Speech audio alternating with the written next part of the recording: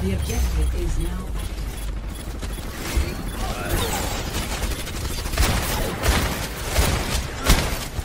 Double kill. Party on the objective.